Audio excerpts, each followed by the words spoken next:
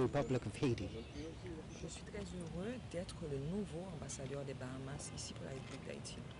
Of things that we can do that will be beneficial to both our countries. Il y a plein de choses que nous pouvons faire ensemble qui seront que bénéfiques pour nos deux pays. Et quelles sont ces choses Um, In agriculture, for instance, um, there was a time when um, 80% of our fruits and vegetables came from Haiti.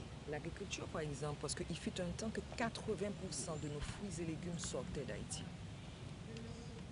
And fisheries, we, we, we can aid in fisheries and uh, trade. Et également dans tout ce qui est la pêche et le commerce en général. Et est-ce qu'il a abordé la question migratoire avec le président haïtien? Yes, yes, yes. There's also a treaty that we, we have to implement also on that. Bien, effectivement, il y a également un traité que nous allons devoir implémenter également très bientôt. À quel sujet Um, yes, there's a number of initiatives that we've taken. Um, we realize that some of the things that were hurting us as well as hurting you, right?